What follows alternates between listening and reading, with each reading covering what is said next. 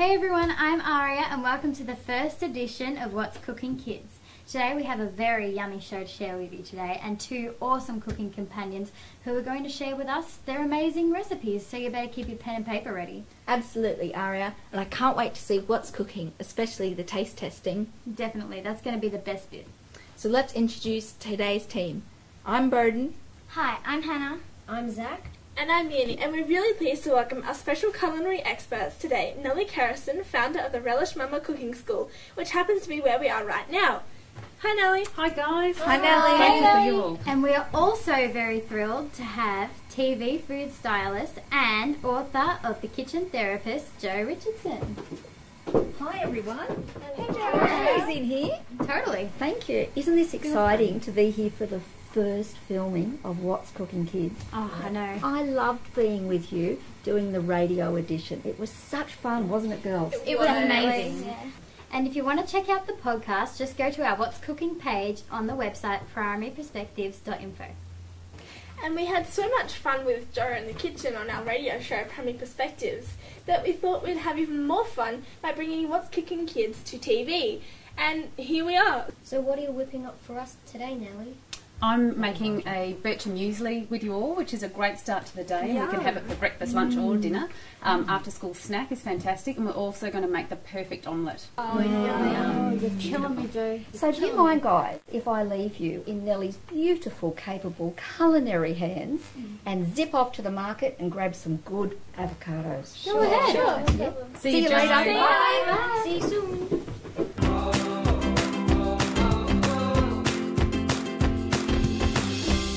Is a great, quick and easy breakfast. Really important to set yourself up with a few shortcuts during the week. We're all so busy.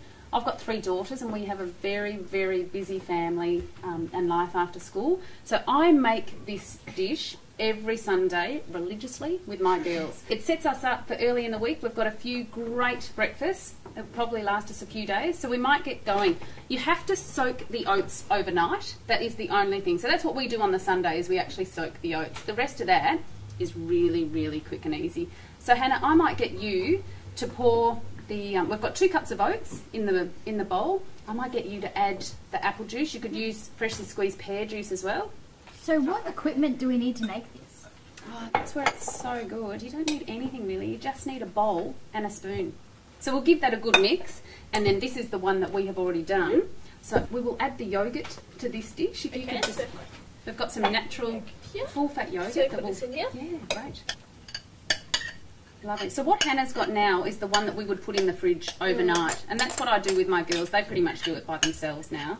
Lovely. So you give that a good stir. So why are oats so great for us?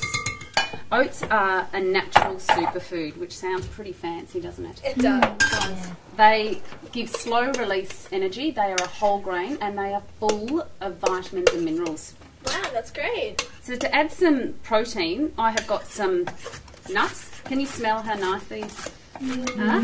They smell so beautifully because I have increased the flavour by toasting them in the pan. Just a really low heat, dry frying pan, mm-hmm. and don't go too far because they can burn quite quickly. Oh, okay. And you can use whichever nuts you like. We have got some walnuts and we've got some shaved almonds and some whole natural almonds. Mm. What are some important nutritional tips for making a healthy breakfast? Whole grain is fantastic. Um, mm-hmm. slow release is great because that will keep us fuller for longer, and that's where oats are wonderful, and protein as well. So we've got our protein from our nuts, and we've got our whole grains from our oats. So this is the complete breakfast. So we're ready now. That looks fantastic. That is all we need, except for the grated pear. So we need some grated pear. Grate some pear over there. Use the um, the larger blade on the grater. So we have got uh, Beurre Bosc pears, but you can use whichever pears you like. You could add apples. You could use uh, matchstick apples if you wanted to. You didn't have to use a grater if you don't have one. So it's really, really versatile. So we can mix this up with the seasons. We can change this recipe with the seasons. We're using fresh berries today, but you could use some beautiful stewed rhubarb would be lovely. Fresh fruit salad would be a really lovely topping as well.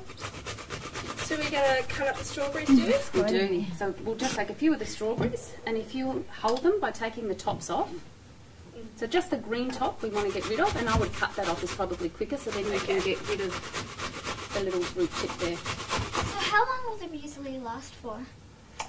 with my family, not very long actually, but I make a double batch on the weekend and it will easily last us about three days. Each time you want to help yourself to some more, just give it a good mix up with a spoon to get that pear through it again. So I might start dishing up as soon as we've got some of that pear in. You might pass that down for Broden to add the pear. How you going, Broden? Still got your fingers? Yeah, good.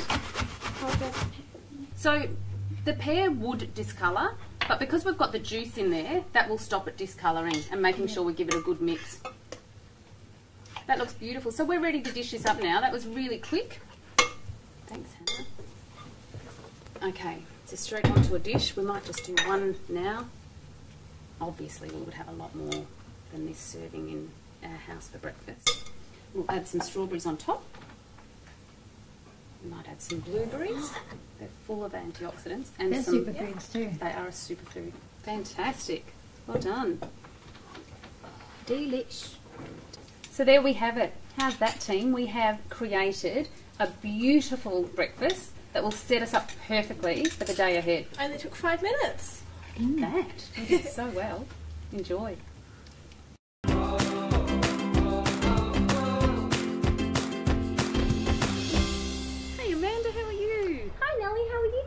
Lovely to see you. Lovely to see you too. I've got the crew from What's Cooking Kids who I'd love you to meet. Come on in, guys. Hi guys, how are you? Hey Amanda. Good, how are you? So what are you doing here? So we're going to be planting a Green Smart pot with some seeds today. Cool. So, what is a green smart pot? A Green Smart pot is an organic self-watering pot. So that's really cool. How does that work? So the, the unique part about this pot is we've got a wick system. So when the plant actually drinks the water, it draws the right amount of water that it actually needs. That's really cool. Yeah. So can we have a go at planting our herbs? Sure. But where are the seeds? Whoops. I forgot the seeds. That's okay, guys. We're really close to a nursery, so how about I take you, Zach and Hannah? Would you like to come shopping with me and we'll go get some herbs and veggies to plant? That would be great, Fantastic. guys. We'll see you soon. See ya. Bye. Alright, let's get going. Here are some gloves for you. Fantastic, thank you. Okay, so. Cut the bag open. Cut the bag open. Gotta get it like this. Okay, so what I'll probably say is if we just get a little bit of the, yeah, you want give me a hand, just help me hook that in. So we get some soil and we start planting. So we just make sure that we get it nice and tight into these wicks right here. So that enables the plant to actually draw up the water through the wicks. Okay, so yeah, that's perfect. So you pat it down nice and tight. Okay.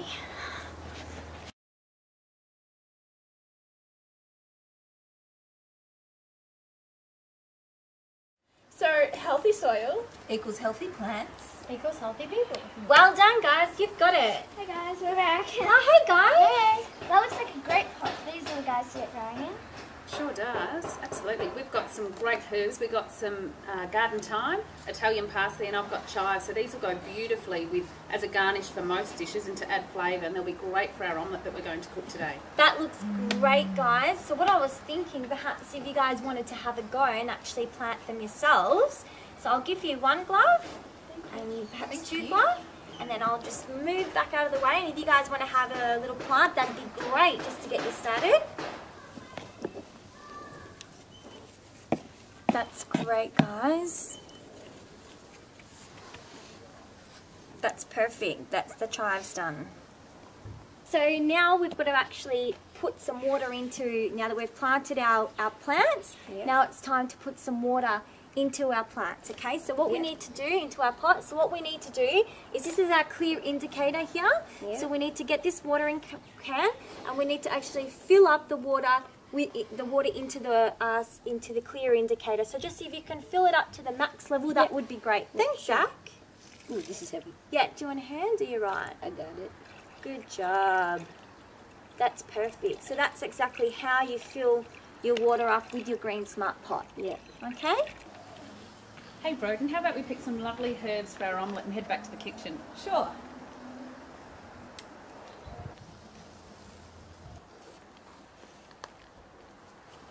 Fantastic. Enjoy cooking, guys. Thanks, Amanda. That was oh, awesome. That was great. We learnt so much about the Green Smart pots. I'm so impressed. I know we planted some awesome herbs. Yeah, we did. Who's ready to cook their omelette? Me. Great, let's go.